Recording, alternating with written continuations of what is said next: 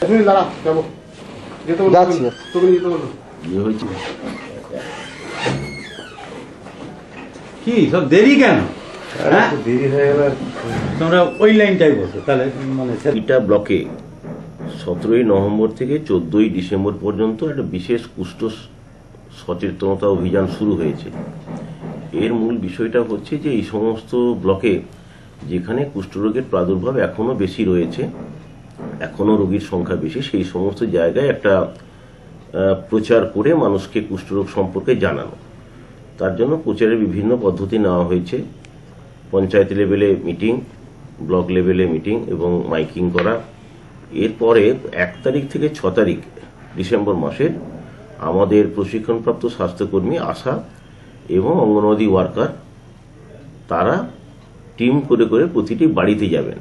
এবং প্রতিটি বাড়িতে গিয়ে কারও গায়ে যদি সন্দেহজনক কোনো দাগ থাকে, তাহলে তাদেরকে চিহ্নিত করবেন এবং তাদেরকে নিকটবর্তী স্বাস্থ্যকেন্দ্রে পাঠাবেন। এবং নিকটবর্তী স্বাস্থ্যকেন্দ্রে চিকিৎসকরা তাদেরকে দেখে যদি কুষ্ঠরোগ হিসেবে তাদেরকে নিশ্চিত হওয়া যায় তাহলে তাদেরকে চিকিৎসার আওতায় আনবেন।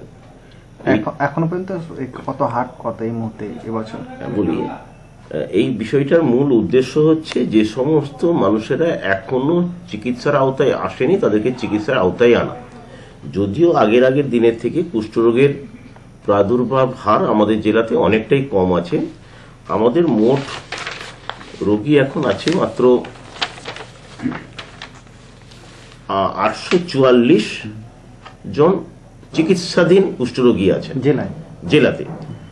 এবং প্রাদুর্ভাব হার যেটা আমরা বলি দশ হাজার জনসংখ্যায় রোগীর সংখ্যা সেটা এক দশমিক তিন সাত। তো এই সংখ্যাটা হয়তো আগের দিনের সংখ্যার থেকে অনেকটা কম। তা সত্ত্বেও আমরা পশ্চিমবঙ্গের বেশ কিছু জেলার থেকে এখনও রোগীর এই সংখ্যাটা আমাদের কাছে বেশি। অর্থাৎ আমাদেরকে আরও নামাতে হবে। কিন্তু এখন এই ধরনের কর্মসূচি নেওয়ার ফলে প্রাথমিকভাবে রোগীর সংখ্যা বাড়বে।